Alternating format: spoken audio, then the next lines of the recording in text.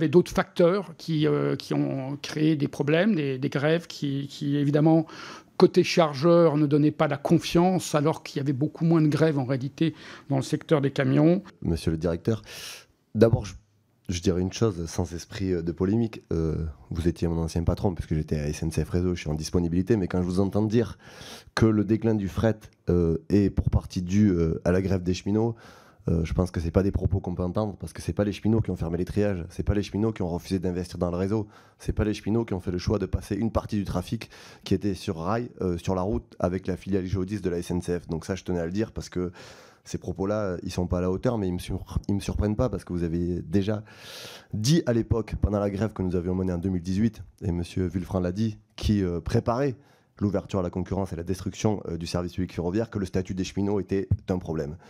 Je ne vois pas, d'ailleurs, j'aimerais bien comprendre euh, le raisonnement qui, va de la libération entraîne une chute du fret ferroviaire. J'aimerais bien comprendre cela. voilà, je ne je ne, vois pas la logique. Il faudrait m'expliquer le raisonnement que je ne comprends pas très bien. Voilà. Je dirais même la libéralisation en donnant le plus juste prix. Et on sait que euh, SNCF, euh, d'ailleurs c'est pas moi qui le dis, hein, c'est les présidents de région euh, sur les TER, considèrent que SNCF mobilité est extrêmement cher par rapport à ce qu'ils estiment pourrait être un vrai prix. Donc c'est la même chose en fret à l'époque. Donc au contraire, je pense qu'en baissant le prix, évidemment, on était plus compétitif par rapport au, par rapport au, fret routier. Sauf qu'évidemment, euh, il y avait d'autres facteurs bien plus importants que cela qui jouaient. Et c'est ces facteurs-là, la désindustrialisation était beaucoup plus forte, qui faisaient que ça baissait. En tant que cheminot, j'ai vu où on me demandait de garer des trains fret pour laisser passer des voyageurs, donc euh, ça prenait un retard euh, incalculable. Moi, je demande comment on fait pour garantir ça, euh, avec un nombre de cheminots à fret SNCF qui a été divisé par trois, avec des gares qui sont sans cesse fermées.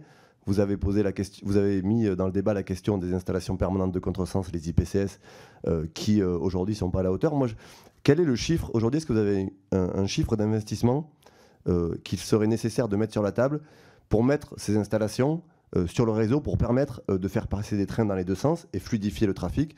Et enfin, je termine sur ma dernière question parce que vous avez aussi parlé des travaux de nuit qui péjoraient le trafic puisque le fret ferroviaire circulait euh, majoritairement la nuit.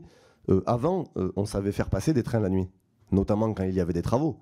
on fermait qu'une voie et on faisait passer sur la voie d'à côté, notamment en gare, parce qu'on avait des cheminots qui faisaient les travaux, qui étaient formés au risque ferroviaire la dérive qu'on a vue depuis des années, c'est la sous-traitance des travaux avec des entreprises privées où on ferme les deux voies pour protéger du risque ferroviaire parce qu'on ne forme pas ses salariés au risque ferroviaire. Donc aujourd'hui, est-ce qu'il n'y a pas euh, aussi besoin euh, de faire en sorte que SNCF refasse l'intégralité des travaux avec son savoir-faire pour permettre à ce que les trains puissent circuler la nuit malgré le besoin de fermer certaines parties de voies pour rénover parce qu'on a besoin de rénover le réseau? Merci. première, première question sur le sujet du wagon isolé. Euh, pour être très, clair, moi, ma vision du fret ferroviaire est la suivante. C'est là où le fret ferroviaire est pertinent, c'est sur le fret massifié. Et ce fret massifié, il est plutôt longue distance.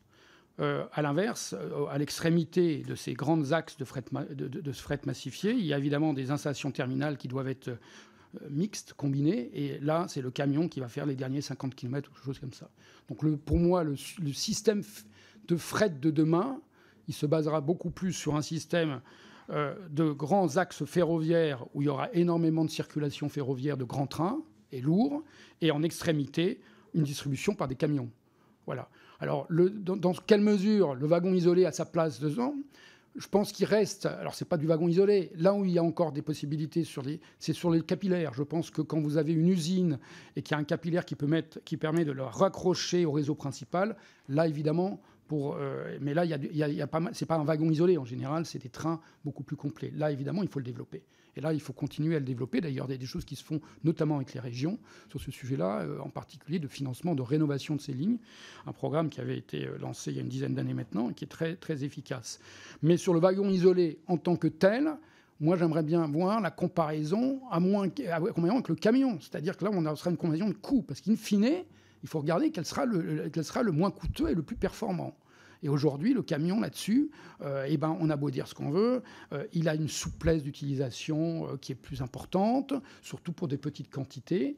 donc voilà, donc y a chaque, mode a sa pertinence. Et pour moi, la pertinence du ferroviaire, il est plutôt sur des axes longs et plutôt massifié, quand le camion il est plutôt pertinent sur un rayon d'action, je dis 50 km, j'en sais rien, c'est l'ordre de grandeur, hein, et, et, sur des, des, quantités plus faibles. Voilà. Sur le deuxième euh, sujet, euh, sur les travaux de nuit, euh, sur les travaux de nuit, je pense pas que la sous-traitance ne change quoi que ce soit ça. La sous-traitance, elle n'a pas ni empiré, ni peut-être amélioré le système. Je pense qu'en effet, moi je suis persuadé que j'étais favorable à plus de sous-traitance, mais plus de sous-traitance avec la nécessité de ne pas aller trop vite